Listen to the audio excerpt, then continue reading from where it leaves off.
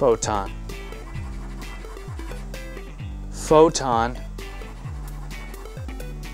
Tetraquark. Drat. We all would love to win the lottery, but you know that every time you buy a ticket, you may be putting your faith in the very random nature of photons? This is the Qubit Lab.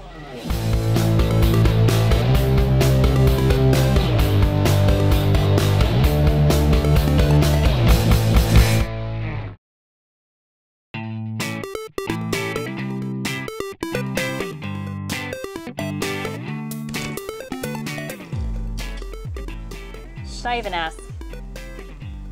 I'm making a random number generator. Really? Yeah.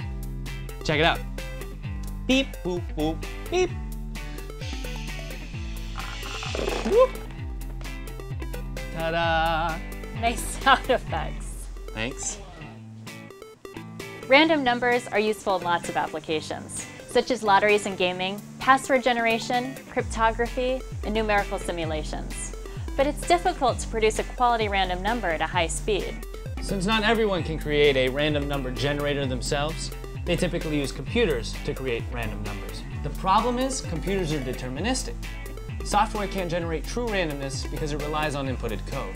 There exist random number generators based on classical physics, but they're not based on a fundamentally random process, as classical physics is also deterministic. You know that whole for each action there's an equal and opposite reaction thing? It's one of the foundations of classical physics, and it means that your results are based on the input. How do you get randomness from that? Cue the wacky, wild, and oh so random world of quantum physics. True random number generation is a lot more complicated than simply rolling the dice. Thanks to quantum physics, we can now use the interaction of photons and a semi-transparent mirror to determine a random sequence. A photon cannot be split in two. So if we send a photon through a semi-transparent mirror, there's a 50-50 chance it will be reflected or transmitted. Then all that's left is to set up a detector on each side of the mirror. If the photon is reflected and registered by the first detector, then a 1 is marked down. If it is transmitted and registered by the other detector, it's marked down as a 0. This process continues until we have a sequence of 1s and 0s, which are then translated into a number. Because we cannot predict whether the photon will be transmitted or reflected at the mirror, the number is truly random. Oh, Gabe, no, your generator was wonderful. No, no, it's all right. Gabe's random number generator doesn't use optoelectronic technology. So what's the point? Hmm, you've got me there. Quantum physics has allowed us to create a true non-cardboard random number generator. In fact, a company called ID Quantique in Switzerland introduced the first commercially available quantum random number generator way back in 2001.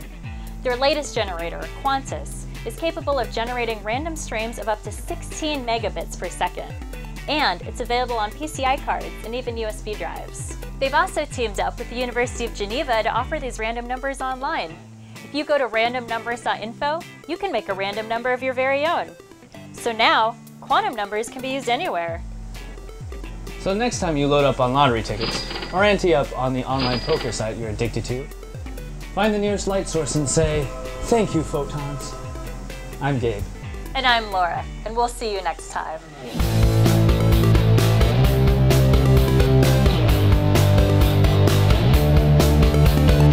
And the winning lottery numbers are beep, boop, boop, beep. 2, 16, 42, 12, 3. So close. What would you have bought if you'd won?